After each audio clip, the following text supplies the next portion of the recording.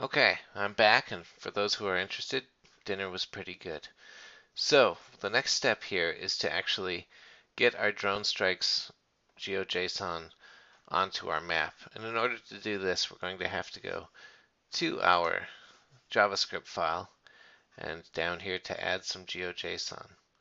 Now, the first thing we need to do is let's take a look at our leaflet JS documentation over here.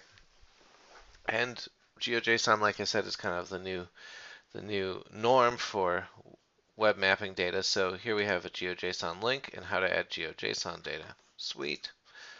So long story short, it starts with a capital L like everything in leaflet. That means basically the functions and everything coming after the capital L are in the GeoJSON, or excuse me, in the leaflet library.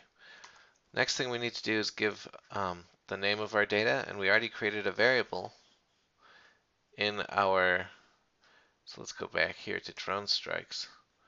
We should, we started this with a variable named drone strikes, and we brought it in to our index. It's been read. So now, all we have to do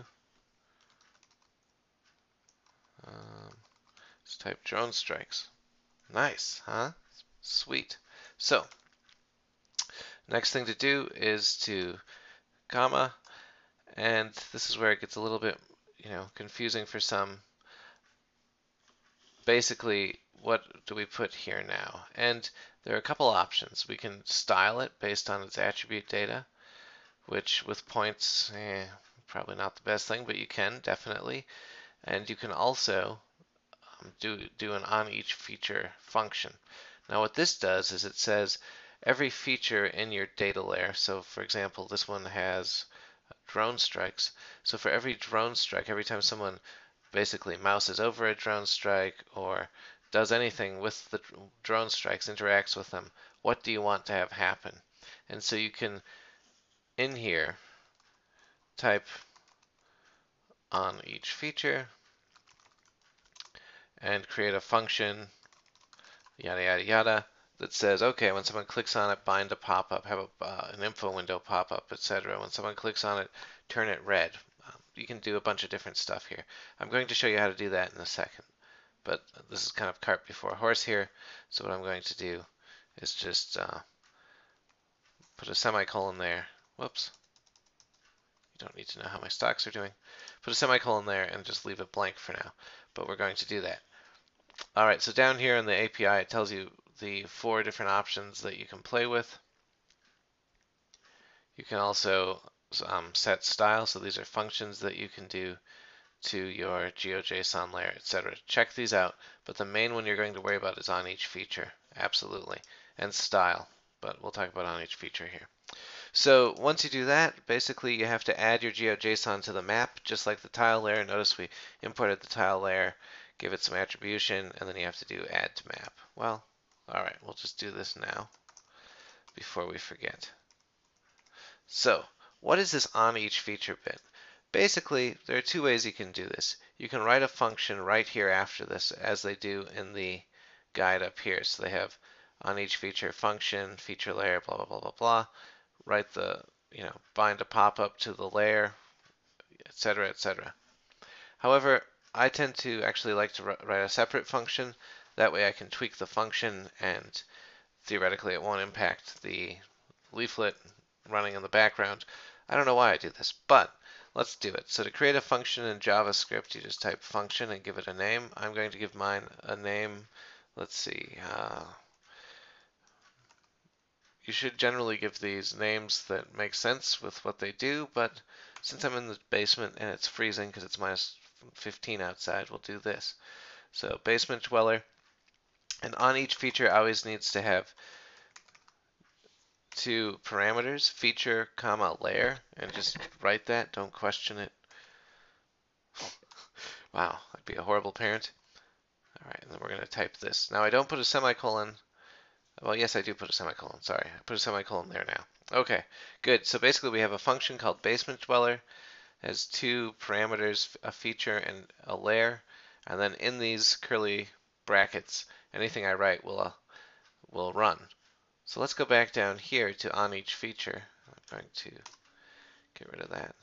What we want is basically once the GeoJSON is loaded, when someone does anything to any of the features in the GeoJSON, run this function, basement dweller. Again, it doesn't matter what you call your function, and generally you want to call it something that's appropriate, but I'm loath to do that right now.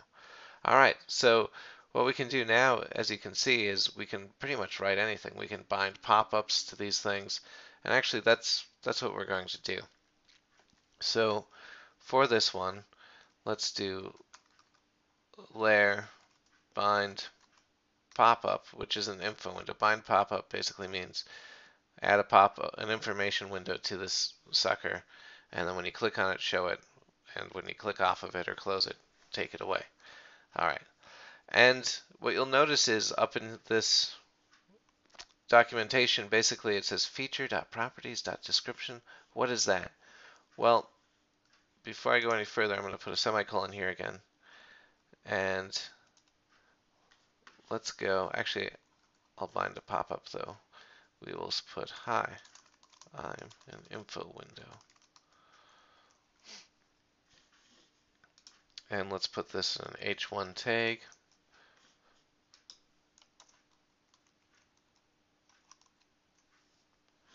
All right, and let's hit save.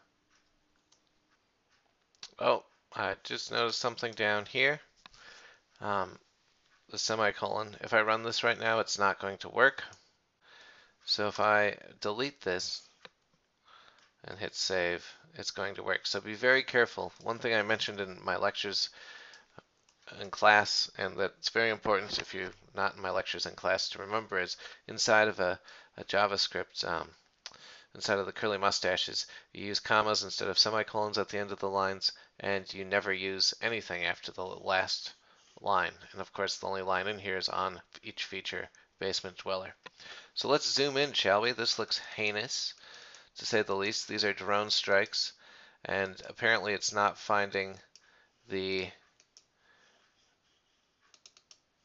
image that is necessary to show this but never panic. And also, obviously, we have a black background with black text, and I'm not sure where the black background's coming from unless I still have that styled somewhere um, in another file, perhaps in my index file it's styled that way. So, a couple things. First of all, let's fix this icon. So, to create an icon that basically works better than this, there are a couple things you can do. I'm going to use a default marker icon right now, but I'll also in the next tutorial show you how to make your own. Um, unless I have a better one. A farmer doesn't really make sense for drone strikes. So yeah, we'll use this marker here. So to do this, we need to go back to our script. And before I do anything else under the add some GeoJSON, let's do var teardrop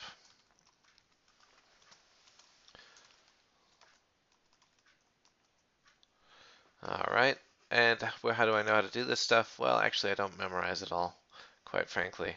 I probably will someday when I do it enough.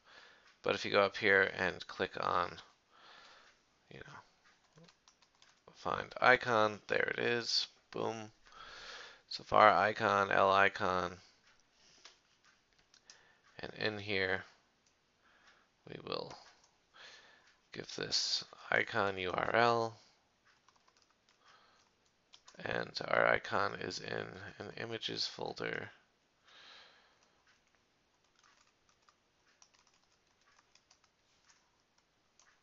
comma. Um, we could give it a size. I don't know this. This isn't a square icon, so I'm not going to bother giving it a size. You can give it a drop shadow, um, a shadow size, everything else. This should probably do it for right now. That's all I'm going to worry about is creating this icon and then we close that out and hit save. Then down here, let's see, we will go layer set icon, I think it is, and we will type in teardrop. So let me explain what's going on here. Um, basically, we're saying variable teardrop. Uh, we created it's an icon. Here's the URL. Then down here in the basement dweller function, we're saying layer bind pop-up, say this, layer set icon to teardrop. We created a variable so we can just directly call upon it. Now let's see if this works actually. I'm always curious. Okay, so it's not working, but don't panic. That's the first rule. So let's look at our code over here. And basically, um, oh, I just spotted it. One thing that kind of drives me nuts about Leaflet, and maybe it's just me because I haven't, you know, I'm kind of a self-taught JavaScripter, but sometimes you have to add the word new in front of your, uh, for example, up here we have variable map equals l.map, but sometimes with some of these you really actually have to add new, and I think with icon, if I could even go here and find out. Well, now it says L icon. Hmm. Well, I think we need the word new here. Why? I don't know. And if someone can actually tell me, that'd be great. Let's hit um, save here and refresh here. There they are. Voila. So, we still have one problem I want to fix really quickly, and I know that this tutorial uh, is getting a little long. Our stuff isn't showing up here. So what we can do is under this layer bind pop-up, we can write as much HTML as we want. We could add, embed images, we can do, you know, whatever we want. I'm going to simply um, in here give it a class name. And I'll call it info head for header. How about info header? All right. Now notice something is going horribly wrong here. This should all be orange.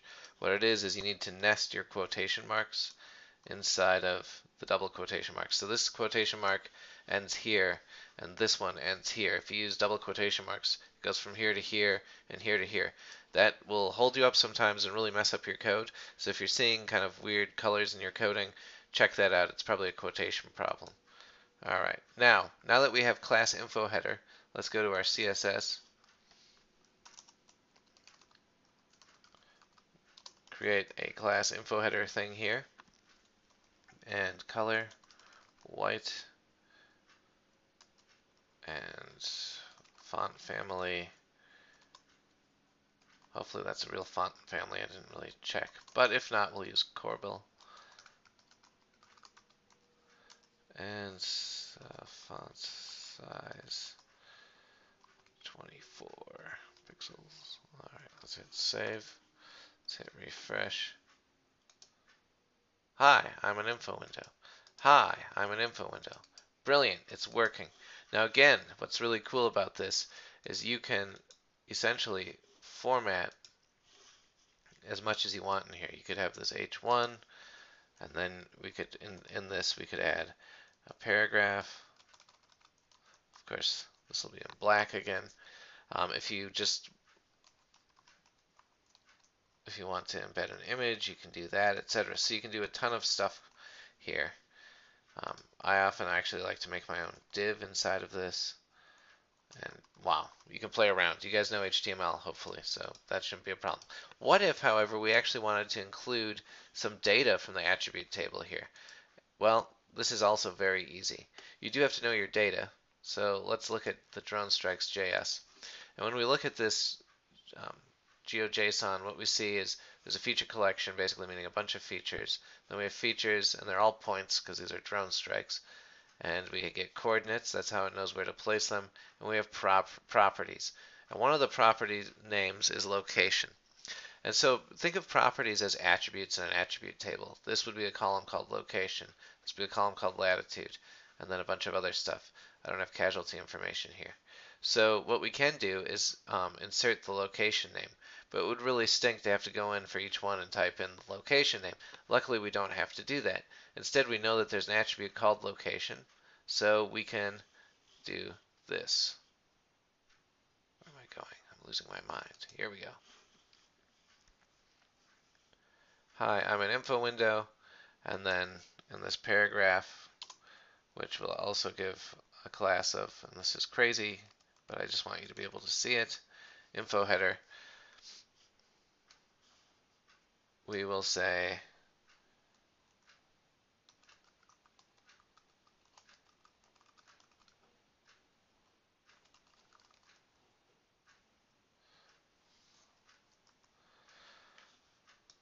we'll end this quote and hit plus feature properties location plus start a new quote.